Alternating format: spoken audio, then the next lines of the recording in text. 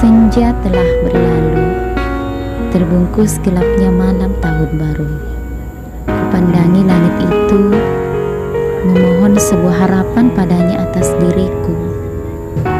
Tahun akan segera berganti. Ku coba berbalik ke belakang tirai, melihat apa yang telah kulalui. Di sana ada sedih dan tawa. Di sana ada rasa dan asa.